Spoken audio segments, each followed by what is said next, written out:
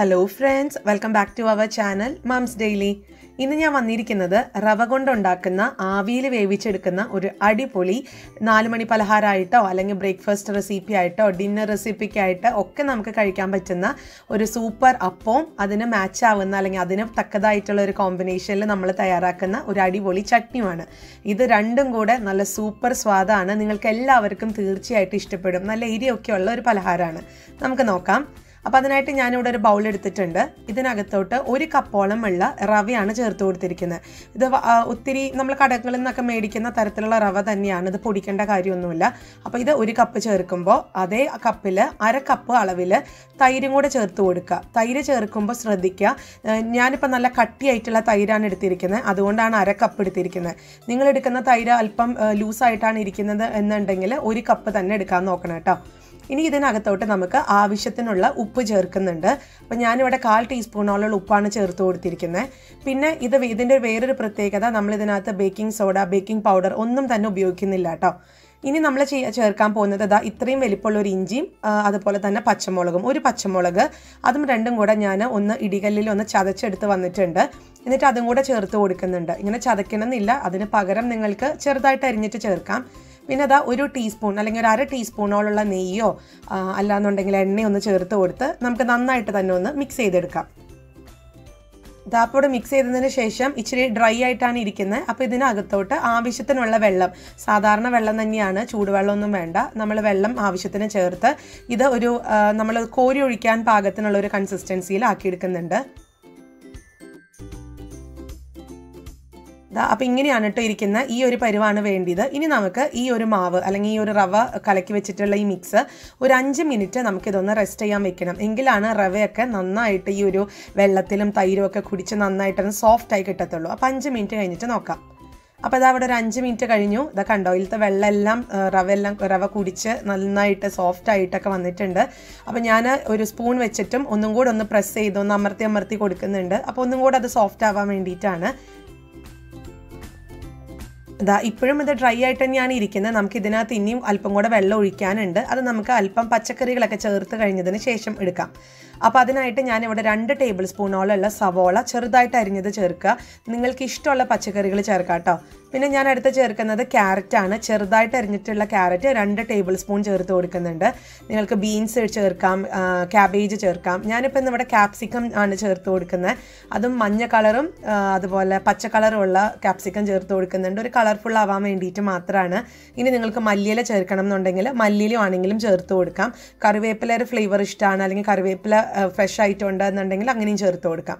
ഇനി നമുക്ക് നമ്മുടെ പച്ചക്കറികളൊക്കെ ചേർത്ത് കൊടുത്തതിന് ശേഷം നന്നായിട്ട് തന്നെ ഒന്ന് സ്പൂൺ വെച്ചിട്ടൊന്ന് മിക്സ് ചെയ്ത് കൊടുക്കാം. മിക്സ് ചെയ്തതിന് ശേഷം നമുക്ക് ഇതിനകത്തോട്ട് ആവശ്യത്തിനുള്ള വെള്ളം ഏകദേശം ഒരു കാൽ കപ്പോളം ഉള്ള വെള്ളം വെള്ളം കൂടെ ചേർത്തിട്ട് ഒന്നും കൂടെ ഒന്ന് മിക്സ് ചെയ്തെടുക്കുന്നുണ്ട്. ദാ ഞാൻ ഇതിനകത്തോട്ട് അല്പം കൂടി ഉപ്പ് ചേർക്കുന്നുണ്ട്. ടേസ്റ്റ് ചെയ്ത് നോക്കിയപ്പോൾ ഉപ്പ് ഇച്ചിരി കുറവായിരുന്നു. ഇനി അടുത്തത് നമ്മൾ ചേർക്കുന്നത് ഒരു ടീസ്പൂണോളുള്ള നാരങ്ങയുടെ നീരാണ്. നമ്മൾ ഈ ബേക്കിംഗ് സോഡ ബേക്കിംഗ് പൗഡറിന് പകരം ഇവിടെ നാരങ്ങയാണ് ചേർത്ത് കൊടുക്കുന്നത് നാരങ്ങയുടെ നീരാണ് ചേർക്കുന്നത് കേട്ടോ എന്നോട് ഒത്തിരി പേര് പറഞ്ഞിട്ടുള്ള കാര്യമാണ് ബേക്കിംഗ് പൗഡർ ബേക്കിംഗ് സോഡ ഉപയോഗിക്കാതെ എങ്ങനെ ഉണ്ടാക്കാം എന്നുള്ളത്. അപ്പോൾ അതിന്റെ ഒരു ഒരു മെത്തേഡാണിത് ഇങ്ങനെ ചെയ്തെന്നാലും നമുക്ക് നല്ല സോഫ്റ്റ് ആയിട്ട് കിട്ടും. കാരണം ഇതിനകത്ത് നമ്മൾ ചേർത്തിട്ടുള്ള തൈരും അതുപോലെ നാരങ്ങ നീരും കൂടെ മിക്സ് ആയിട്ട് അത് ആ ഒരു ഒരു ഫ്ലഫി ആയി കിട്ടുന്ന ഒരു റിയാക്ഷനിലോട്ട് വരും കേട്ടോ ഇതാ അപ്പം ഞാൻ ഒന്നും കൂടെ ഒന്ന് മിക്സ് ചെയ്തിട്ടുണ്ട്. ഇതാണ് നമ്മുടെ ഒരു മാവിന്റെ പരുവം എന്ന് പറയുന്നത്. കോരി ഒഴിക്കാനൊക്കെ പാകത്തിനുള്ള ഒരു പരുവാണിത്. ഇനി നമുക്ക് നിങ്ങൾ ഏത് പാത്രത്തിലാണോ ഇത് കോരി ഒഴിക്കുന്നത് ആ പാത്രം എടുക്കുക. ഞാനിപ്പോൾ ഇവിടെ ഇതുപോലത്തെ കുഞ്ഞ് കട്ടോരി പാത്രങ്ങളാണ് എടുത്തിരിക്കുന്നത് എടുക്കുന്ന പാത്രത്തിൽ ഇതുപോലെ അല്പം നെയ്യോ എണ്ണയോ ഒന്ന് തടവി കൊടുക്കുക. അതിനുശേഷം മാവ് നമുക്കൊന്ന് കോരി ഒഴിക്കാം. മാവ് കോരി ഒഴിച്ചതിന് ശേഷം ദാ ഇതുപോലെ ഒന്ന് തട്ടി കൊടുക്കുക നമുക്കൊരു മുക്കാൽ ഭാഗത്തോളം ഒന്ന് നിറച്ച് കൊടുത്താൽ മതിയാവും കേട്ടോ ഇനി നമുക്കിതൊന്ന് ആവി കയറ്റി എടുക്കാം. അതിനായിട്ട് ഒരു പാത്രം വെച്ചിട്ടുണ്ട്. ഇത് ഞാൻ ബേക്ക് ചെയ്യുന്ന ഒരു പഴയ പാത്രമാണ്. അപ്പോൾ നിങ്ങൾക്കിത് കാണുമ്പം ബേക്കിംഗ് വീഡിയോ കണ്ടവർക്കൊക്കെ മനസ്സിലാവും ഈ ഒരു പാത്രം. അപ്പോൾ ഇതിൽ ഇത് പഴയൊരു പാത്രം ആയതുകൊണ്ടാണ് അതിന് നിറക്കം മാറിയിരിക്കുന്നത് കേട്ടോ അതിന്റെ കോട്ടിംഗ് ഒക്കെ പോയിട്ടുള്ളത്. ഇത് നമ്മൾ കുക്ക് ചെയ്യാൻ യൂസ് ചെയ്യാറില്ല.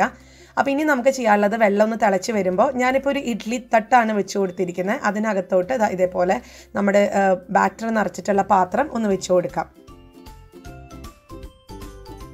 അതിനുശേഷം നമുക്കിതൊന്ന് മൂടി വെച്ചിട്ട് പതിനഞ്ച് മിനിറ്റ് മുതൽ ഒരു പതിനെട്ട് മിനിറ്റ് വരെ ആ ഒരു സമയത്തിനകത്ത് നമുക്കിതൊരു മീഡിയം ഫ്ലെയിമിൽ വെച്ച് ഒന്ന് ആവി കയറ്റി എടുക്കാം ഇതാ അപ്പോൾ ഇവിടെ ഒരു പതിനഞ്ച് മിനിറ്റ് കഴിഞ്ഞു. ഞാനൊന്ന് തുറന്ന് നോക്കുന്നുണ്ട്. ഇതാ നല്ല പെർഫെക്റ്റ് ആയിട്ട് തന്നെ വന്നിട്ടുണ്ട്. അപ്പം ഞാൻ നേരത്തെ ഒരു ടൂത്ത് പിക്കർ വെച്ച് കുത്തി നോക്കിയായിരുന്നു. പക്ഷെ അതിന്റെ വീഡിയോ വന്നിട്ടില്ല. അപ്പം ഞാൻ ഇപ്പോൾ ഞാനതൊന്ന് കാണിക്കാം. അപ്പോൾ അതിനായിട്ട് ഞാനൊരു ടൂത്ത് പിക്കർ ഒന്ന് കുത്തി നോക്കുന്നുണ്ട്. നമുക്ക് നല്ല നീറ്റായിട്ടും ക്ലീൻ ആയിട്ട് തന്നെയാണ് വന്നിരിക്കുന്നത് ഒട്ടും തന്നെ ഒട്ടിപ്പിടിച്ചൊന്നും ഇരിക്കുന്നില്ല. അപ്പോൾ അതിനർത്ഥം ഇതിന്റെ അകെല്ലാം നന്നായിട്ട് വെന്തു എന്നുള്ളതാണ്. പതിനഞ്ച് മിനിറ്റിന് അകത്തൊക്കെ ഇത് തീർച്ചയായിട്ടും ഇത് വെന്തിട്ടുണ്ടാവും. ഒരു മീഡിയം ഫ്ലെയിമിൽ വെക്കുവാണെന്നുണ്ടെങ്കിൽ കേട്ടോ. അപ്പോൾ ഇത് ഇവിടെ നിന്ന് ചൂടാറട്ടെ. ആ നേരം നമുക്ക് ഇതിന് വേണ്ടുന്ന ഒരു ചട്നി തയ്യാറാക്കണം. കാരണം അത് ചൂടാറിയതിന് ശേഷമാണ് പാത്രത്തിൽ നിന്ന് നമുക്കൊന്ന് വിടിവിച്ചെടുക്കാൻ പറ്റത്തുള്ളൂ. അപ്പോൾ അതവിടെ ഇരിക്കട്ടെ. ഇനി ചട്നി ഉണ്ടാക്കാനായിട്ട് ഞാനിവിടെ ഒരു പാൻ അടുപ്പത്ത് വെച്ചിട്ടുണ്ട്. അതിനകത്തോട്ട് രണ്ട് ടീസ്പൂണോളുള്ള വെളിച്ചെണ്ണയാണ് ചേർത്ത് കൊടുത്തിരിക്കുന്നത്.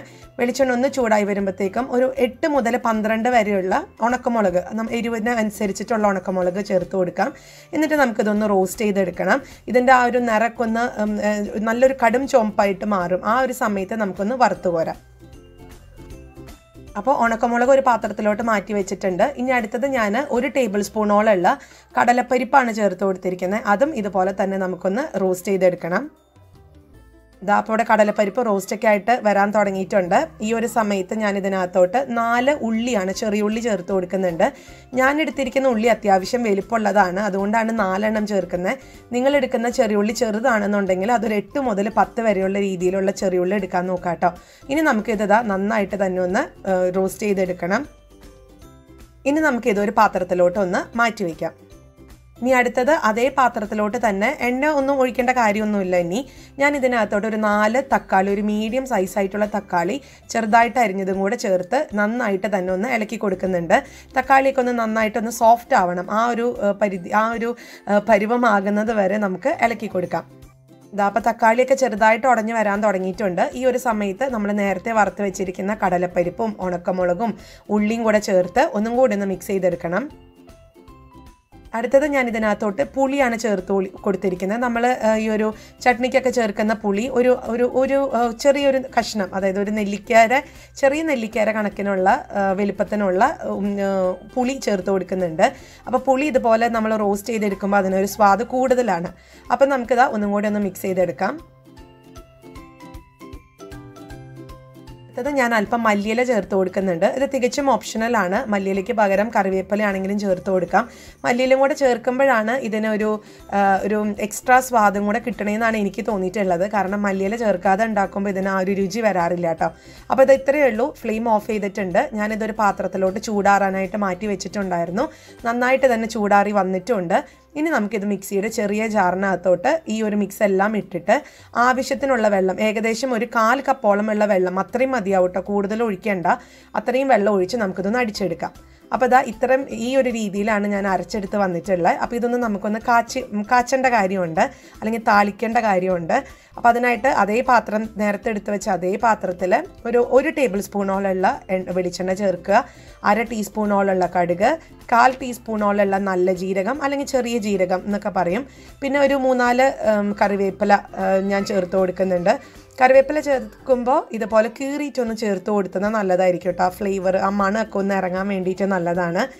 അതൊന്ന് ചൂടായി വരുമ്പോഴത്തേക്കും നമ്മൾ അരച്ച് വെച്ചിരിക്കുന്ന ചട്നിയും ചേർത്ത് കൊടുക്കുക. അതുപോലെ ചട്നി നമുക്ക് എത്രത്തോളം ചാറ് വേണോ എന്നനുസരിച്ച് ഞാൻ ആ മിക്സിയുടെ ജാറിനകത്തോട്ട് അല്പം വെള്ളം ചേർത്ത് ചെറു ചൂടുവെള്ളമാണ് ചേർത്ത് കൊടുത്തിരുന്നത്. അതും കൂടെ ചേർത്ത് ഒന്ന് ചുറ്റിച്ചെടുത്ത് ഇതിനകത്തോട്ട് ചേർത്ത് ഒരു ഒരു മിനിറ്റും കൂടെ നമുക്കൊന്ന് ഇളക്കി കൊടുക്കാം. നമ്മൾ ഇതിനകത്ത് ഇതുവരെ ഉപ്പ് ചേർത്തിട്ടില്ലായിരുന്നു. അപ്പോൾ ഞാൻ ഇതിനകത്തോട്ട് ആവശ്യത്തിനുള്ള ഉപ്പും കൂടെ ചേർത്തിട്ടുണ്ട്. എന്നിട്ട് ഇതൊന്ന് ചെറുതായിട്ട് തിളച്ച് എണ്ണയൊക്കെ ഒന്ന് തെളിഞ്ഞു വരുന്ന സമയത്ത് നമുക്കിതൊന്ന് ഫ്ലെയിം ഓഫ് ചെയ്ത് മാറ്റി വയ്ക്കാം അപ്പോൾ ചട്നി അവിടെ റെഡി ആയിട്ടുണ്ട്. ഇനി നമുക്ക് ഇതാ ഇത് ഇവിടുത്തെ ഈ ഒരു അപ്പത്തിന്റെ ചൂടൊക്കെ മാറി വന്നിട്ടുണ്ട്. ഇനി നമുക്കൊരു സ്പൂൺ വെച്ചിട്ട് ഇതുപോലെ സൈഡിൽ നിന്ന് ഒന്ന് വിടിവിച്ച് ഒന്ന് പാത്രത്തിലോട്ട് ഒന്ന് കമിഴ്ത്തി കൊടുക്കാം. നോക്കിക്കുക നല്ല സോഫ്റ്റ് ആയിട്ടുള്ള അപ്പാണ്. നമ്മൾ സാധാരണ റവ വെച്ചിട്ട് ഉപ്പുമാവൊക്കെയാണ് അധികം ഉണ്ടാക്കാറ്. ഇനി ഉപ്പുമാവ് ഇപ്പോൾ എപ്പോഴും കഴിക്കുമ്പോൾ അതൊരു മടുപ്പുമാണ്. പക്ഷേ ഉപ്പുമാവിനേക്കാളൊക്കെ ഒത്തിരി ഹെൽത്തി ആയിട്ടുള്ള നല്ലൊരു സൂപ്പർ റെസിപ്പിയാണിത് പിന്നെ ഇത് നമുക്ക് ഇങ്ങനെ തന്നെ ചട്നിയുടെ കൂടെ മുക്കി കഴിക്കണം എന്നുണ്ടെങ്കിൽ അങ്ങനെയും കഴിക്കാം. ഈ ഒരു അപ്പത്തിന് ഏറ്റവും ബെസ്റ്റ് ആയിട്ടുള്ള കോമ്പിനേഷനാണ് ഈ തക്കാളി ചട്നി എന്ന് പറയുന്നത് കേട്ടോ. അപ്പോൾ നിങ്ങളൊന്ന് ട്രൈ ചെയ്ത് നോക്കുക.